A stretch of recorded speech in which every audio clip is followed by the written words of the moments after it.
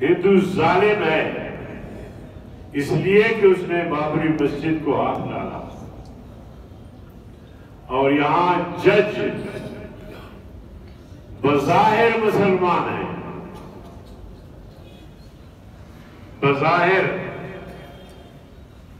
वरना गैर मुस्लिम होता तो कम अज कम मेरे ख्याल में आइन की रोशनी में इतने बड़े मनसब पर फायज नहीं होता। मस्जिद गिराने, मस्जिद शहीद करने से उस जज की जहनीत खुलकर सामने आ गई है कि वो क्या है। खुलकर सामने आ गई।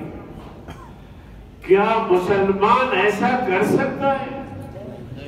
नहीं। उसके कलम में ये ज़रूरत हो सकती है कि मस्जिद गिरा दे? नहीं। मैं आपसे पूछता हूँ। तो फिर कौन इस तरह कर सकता है? कौन इस तरह कर सकता है? गैर मुस्लिम।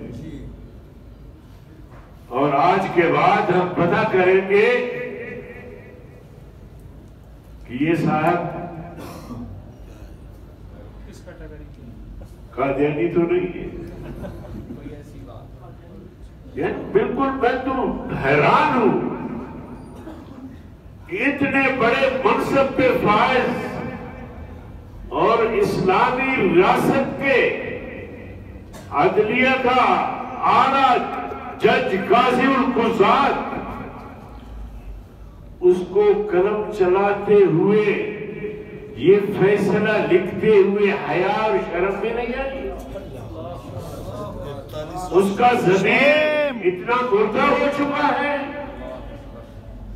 ऐसा बेजमीर है। कहता है कि हमारे फैसले